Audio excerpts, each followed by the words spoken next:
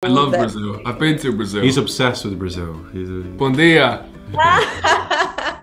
Swear your oath, Moiraine Sedai. I swear to speak no word that is not true. To make no weapon with which one person may kill another. And never to use the one power as a weapon. Hi, my name is Mari. I'm from CNN Brazil. Huge fan. Oh my God, I'm very excited right now. Could you talk a little about Moiraine? She's a very well known character from the books. So, was it a challenge for you to play her? It's a challenge to play any character that's well loved and has a huge fan base. And of course, people have been reading these books since the 1990s. I've taken on Amy Dunne in Gone Girl, but that was a very recent book. So Amy had not had so long to incubate in people's minds. But Moiraine is, people have grown up with Moiraine and their image of Moiraine in their mind. So, you know, I go into it knowing I'm not going to please everybody. I, I do know that, sad as it might be. But I, I hope that they know that I'm someone thinks very deeply about things and I, I'll give as much of her essence as I possibly can. It is a responsibility because I know how loved she is and I know how many people treat her, think of her as a role model. The Wheel of Time has a lot of fight scenes, and most of those fight scenes have you in the thick of it. So, Daniel, I read an interview that you said an accident happened in one of those scenes. Is that true? Can you tell us a little more about that? Unfortunately, that is very true. Um, but it actually helped because it helped bonding us even more. No, no pun intended. We were about a week in shooting the big battle of Winternight, and it was a very late uh, early morning, about 4 a.m. And we were tired, and we were winding down, and I had a move where I had to step through, and I missed time to step, and I sliced down with my sword, and uh, I just felt her hand uh, hit that cold metal and I heard her shriek, and I thought, there we go. We just uh, ended production for a few weeks. it turned out that she was okay. We rushed off to the emergency room and got her some X-rays, and it turned out there were no broken bones. So it was a was a good bonding experience, and uh, it was a good chance for us to really get to know each other. So, how exactly did uh, that make you guys closer? Actually, Well, Rosa. because you know, there's a. I had a. I had. I, le- I knew the level of man I was dealing with when, you know, we'd wrapped for the night. I was taken to the emergency room, and most actors would have said, "Okay, see you tomorrow." And I got to the emergency room, and Daniel was there waiting for me in advance. You know, through Warder style, he wasn't going to go home without seeing that I was all right. Yeah, and it was a scary moment. I think facing fear as a, any type of couple or duo, I mean, it's very important for us to go through obstacles together, to face fire together. And we actually had to do that because that was a real moment of human emotion between us. You go through that together and it, uh, it strengthens your bond. Yeah, yeah. So, Rosamund, uh, you play a very strong woman. How is that important for the uh, female audience? How can we see uh, Moiraine as women? I think one of the cool things about the Wheel of Time is that when people talk about all the strong female characters in the series, they are not strong in terms of a masculine model of what is strong or what strength is. You know, they're they're very entirely female in their power. It's a in the Wheel of Time, female power looks different and feels different from male power. It's it's equally uh, impressive and strong, but it's different. One of the really remarkable things about the Wheel of Time is that everybody, all the characters, learn to uncover and reveal their own individual power, which is very, very different for each character. Power means something different for all these central figures. And that is one of the really beautiful things about the series. Let's hope it's prepared them for what's coming.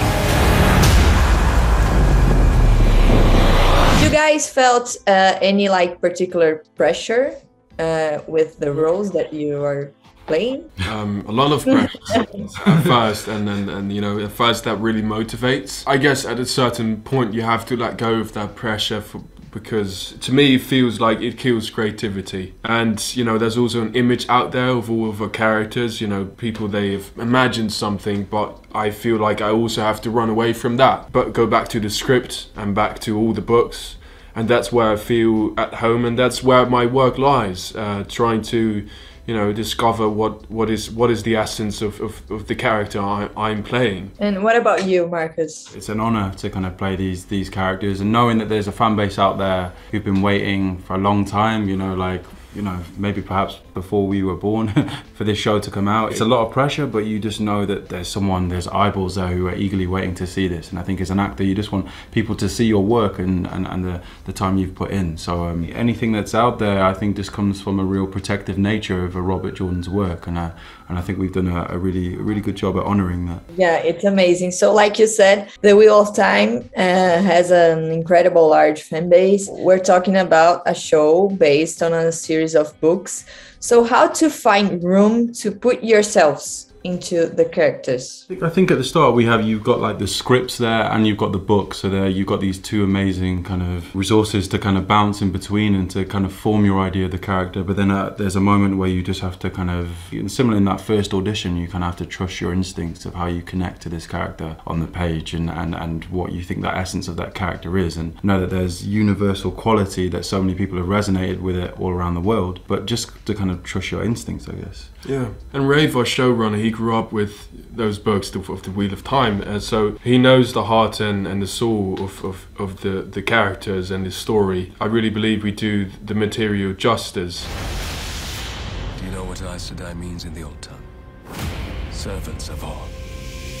What was it about uh, Egwene's character that really made you want to audition for this role? Well, when I got the audition, I was sent three different scenes that were all incredibly different from each other. Now, this young woman was going to have a really wild journey and has so much depth. And I think that is something really refreshing. You know, she is a beloved character within the fandom and probably being a bit biased, but I really think that she's like one of the best characters ever written, ever. She has an incredible sense of duty and an eagerness to learn and, mm. you know, feels like she is destined for something great. And I just think that she is such an honorable, determined, independent, character mm. um, and she's very real she's very real and mm. i think she's a real reflection of what a lot of strong women you know particularly in my life uh, mm. are like and what about your character zoe so how were you able to find room to put yourself into your character it took me a while to realize just how similar Nynaeve and I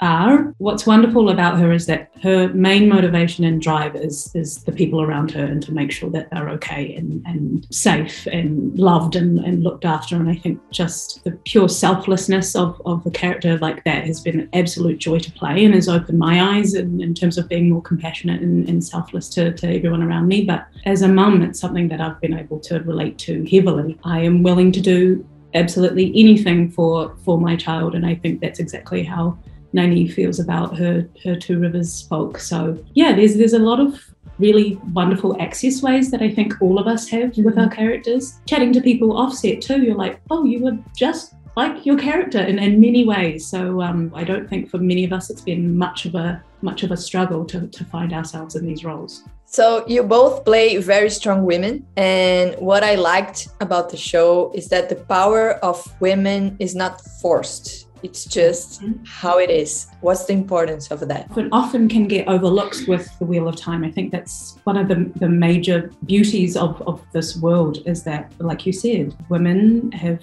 power and that's nothing new to many people. It's a reflection of our real life. I mean, I look at the person right next to me and she's an incredibly strong, brave, amazing person. And, and it's wonderful to be able to see that translated on screen. I know this sounds cheesy, but, you know, real life heroes like my mum and, and my mm-hmm. nana being, you know, shown in, in, in various different ways. I feel the exact same way about Zoe. You know, thank you for saying that. But literally, I, I draw so much strength from Zoe. And I know Egwene really looks to Nynaeve as a role model. And I feel the exact same way. I think what you said, love, about looking at strength in different forms. Mm. And this is something that you said earlier today, like with Nani particularly, she's very strong from showing vulnerability. vulnerability. Mm. You know, I think as women, we're very emotionally intelligent beings. It's just wonderful to play out all those different colors of emotion that we have. So the series is based on a series of books. Yes. We all know that. So, what's the challenge of doing something like that? A, a popular book series, like, I mean,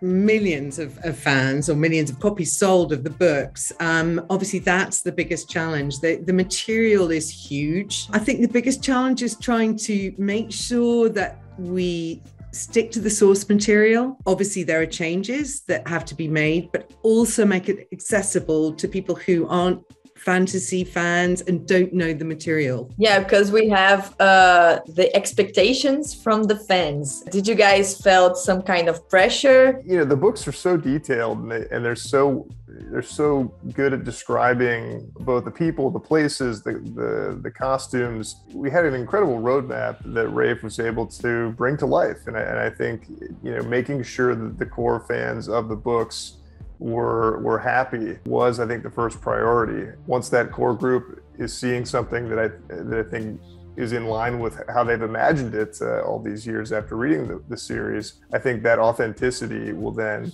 you know, expand into a, a wider audience uh, accepting it and, and, and seeing it as, as something that's very authentic and committed to the details. And the cast is amazing. Uh, how was it to work with all of them? They're fantastic. I mean, really fantastic. And what's wonderful on this show is that everybody's passionate about the show and they're all away a long way from home and they've got each other and you feel that. You feel that on screen and you feel it, you know, when you're with them. These shows, it really, it really is about finding uh, your sort of family away from your own family. And I, and I think mm-hmm. when this this group uh, of young actors came together in the in the room for the first time, we all felt a chemistry that, that really comes through on screen. If you could describe the show in just one word, what would it be? Oh, one word. Yeah. Oh, that's tricky. I'll go with inspiration. Adventure. Complex. Nice. Fire. Epic. Relentless, I think. Relentless. But in a good way, right? But in a great way. Mm. Yes, of course. You know, as a viewer, it's it's just insane situation after situation yes. thrown at our characters, yes. battles, you know heartbreak loss mm. it's just never ending and you know i know as as a cast each episode just gets bigger and bigger and bigger and each season gets bigger and bigger and bigger you don't know how it possibly yep. can happen but they find a way rafe judkins finds a way